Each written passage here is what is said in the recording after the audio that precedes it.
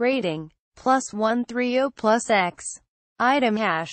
SCP-1261. Object Class.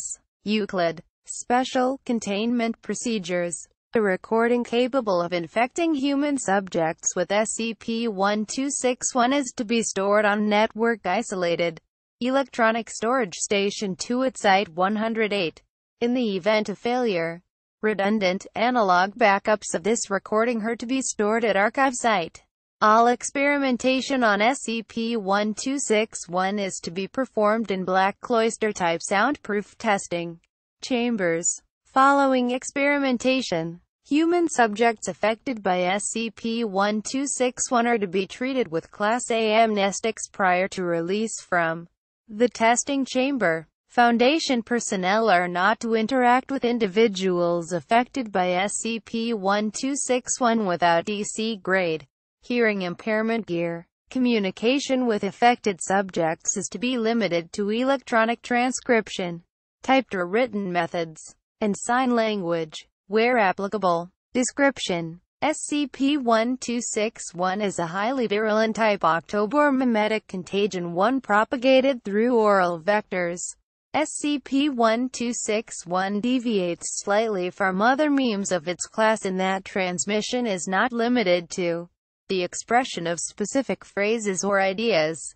Instead, an individual is infected by the meme when he or she hears and understands an infected individual mentioning or referring to the hallucinations caused by SCP-1261. Subjects affected by SCP-1261 suffer from the persistent delusion that they are accompanied at all times by a sapient adult bird of order Struthioniformes.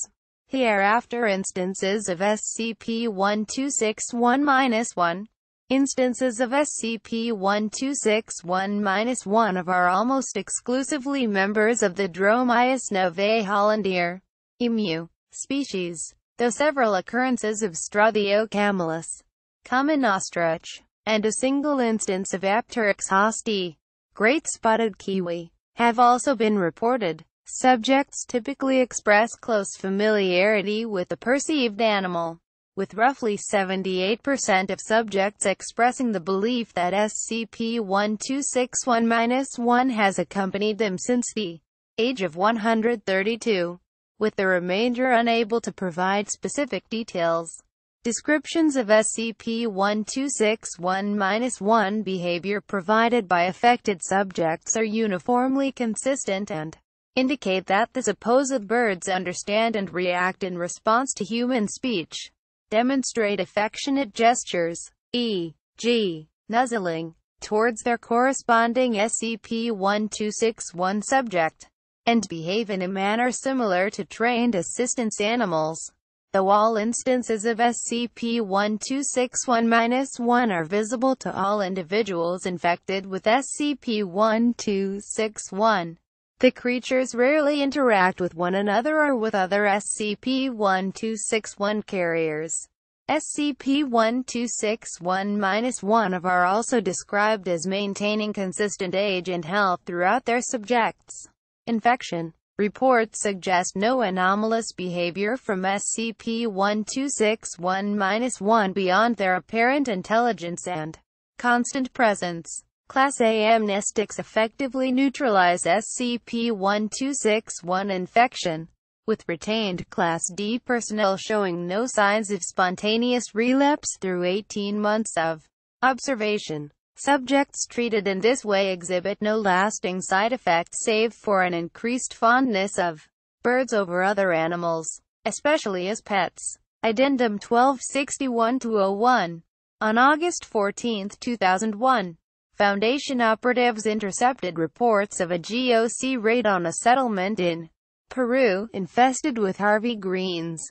Details in GOC reconnaissance reports suggested wide-scale SCP-1261 exposure among the populace, which was corroborated by after-action reports from the GOC raid. MTF Beta 2 glass houses were dispatched to investigate the remains of the settlement following the raid. Forensic analysis of the site suggests that 300 to 500 individuals had resided in the village. All of them infected with SCP-1261. Irregularities in and around the settlement include feeding troughs exhibiting wear patterns consistent with large beaks, large nests in most dwellings, typically padded with blankets or other bedding and visibly worn, tracks and claw prints throughout the compound consistent with adult members of Dromaeus novae hollandiae, scratch marks on doors and other objects suggesting manipulation by adult members of Dromaeus novae hollandiae. In spite of the observations described above, Beta 2 recovered no samples of biological or genetic material belonging to members of Dromaeus novae hollandiae on site. Additionally, intercepted after-action reports from the GOC raid mention no encounters with any wildlife save for the human residents of the settlement. Attempts to determine and or reproduce the circumstances leading to the observed state of the site are ongoing. Footnotes 1. Formerly a dancing bear meme. See document memc underscore 28962 for additional information on the revised classification system. 2. Infected subjects younger than 13 years of age are able to perceive the SCP-1261-1 instances of other affected individuals but do not receive their own instances until their 13th birthday. Such occasions are treated by other SCP-1261 sufferers as a rite of passage similar to a quinceañera or Sweet 16 celebration.